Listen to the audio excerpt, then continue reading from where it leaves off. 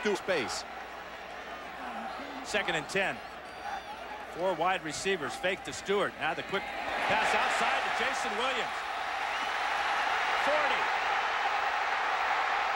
30. 20. Pushed out of bounds by Reggie Smith. Inside the 10-yard line. Well, Dixon almost threw a pick on his first pass play. But then they come back and fake a little play action to Stewart, and they get the little slip screen out there to the wide receiver. Now just watch this. One step up, go back, get a blocker, catch the football, now turn it loose. He's got one guy to beat.